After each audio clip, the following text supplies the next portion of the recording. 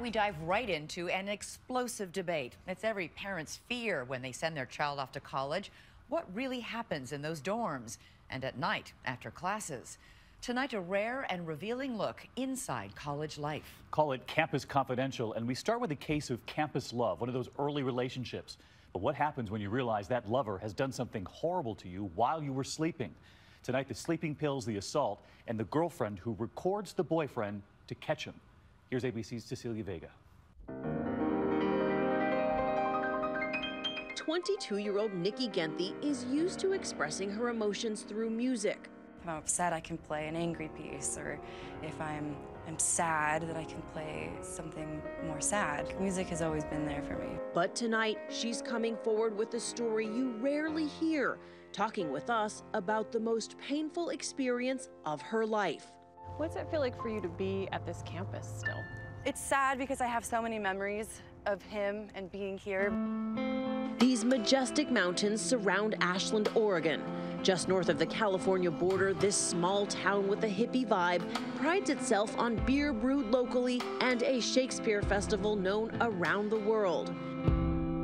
And right in the heart of town sits Southern Oregon University with its 6,000 students and prominent theater and music programs.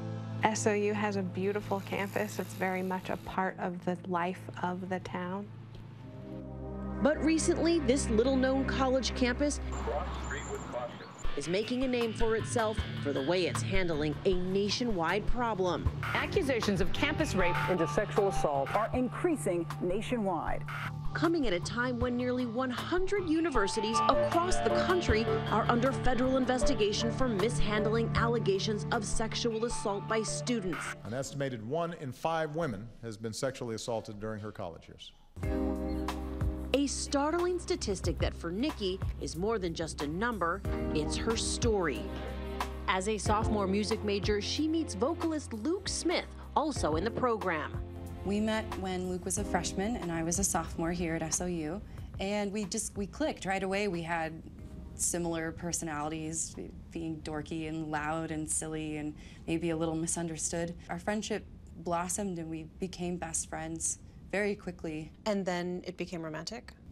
You started dating? Yeah, yes, it did. It was a surprise, I think, for both of us. Months passed, the relationship progressed and became sexual. But soon, Luke was pressing Niki to engage in a type of sex that she wasn't comfortable with. And one night last spring, she's sleeping over at Luke's apartment. Tell me what you remember about that night. We had tried watching a movie. I wasn't able to fall asleep. So I decided to take a sleeping pill, and he knew I was taking it. And it wasn't working, and it was getting really late, and I had class early in the morning. And so I took a second one, and I fell asleep really quickly.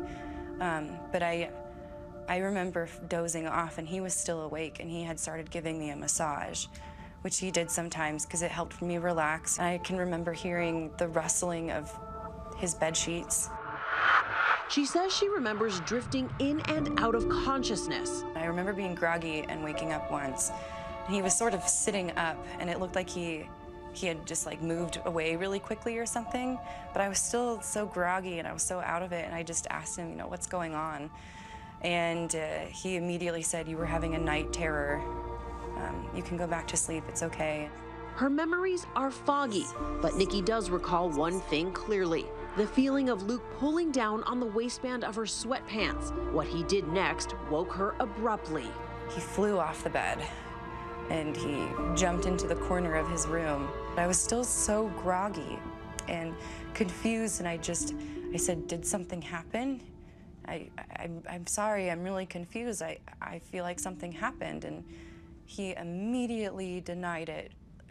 It was uh, visceral, his response. He said, No, and how dare you accuse me of something like that? Luke had sodomized her, but under the cloud of those sleeping pills, Niki wasn't sure exactly what had taken place. She even apologized to Luke. I felt guilty for accusing him of something which he was so convincing in saying he hadn't done that. In the weeks that followed, their relationship fell apart. After four months of dating, the couple broke up. But Niki still struggled with unexplained and mounting anxiety whenever she was around Luke. Not having yet known what had happened to you, What was that time like for you? My brain and my body were processing a trauma that I didn't even fully realize had happened yet. So it was not good. Niki says she was suffering from depression. Her grades dropped and she couldn't sleep. Hoping to reconcile some of her feelings, Niki wrote Luke a letter. She says after reading it to him, Luke dropped a bombshell. I said, Do you remember that night that you took the sleeping medication? And he said, Well, I lied to you that night. And while you were sleeping, I I took advantage of you. I was touching you inappropriately while you were sleeping. The words were searing, but now Niki finally knew what happened that night. It may have explained her feelings of trauma, but it wasn't helping her cope. Hi. Hi. And so that's why I came here, the Women's Resource Center, and I, I walked in and verbatim told them what he told me, and they, they said, yes, this is assault, you've been raped. She wrote Carrie's number on it. And this is where Niki Genthe's story is different from those countless other survivors of campus sexual assault. She's referred to Angela Fleischer, a confidential advisor, part of an innovative program here called You Have Options. No person is told about the report until a victim is ready for that information to be known. The program lets the victim make all the choices. Will she pursue an investigation? Will she help police ID and apprehend her attacker? And most importantly, will she play an active role in proving his guilt? And she was almost immediately ready to seek out support from uh, the police. Most survivors are not so quick to say, yes, I want to seek out the police as, as Niki was. Detective Carrie Hull met Niki and Fleischer at the Ashland Police Department, ushering them into a specially designated interview room decorated to put victims at ease. Carrie, hi. What was it like walking into the police department to have this conversation? So surreal. My hands are sweating.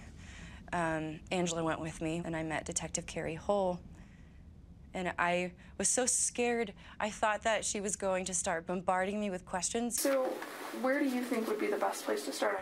So I was really afraid, and then we just had a, a very natural conversation, and it was slow, and I was in control.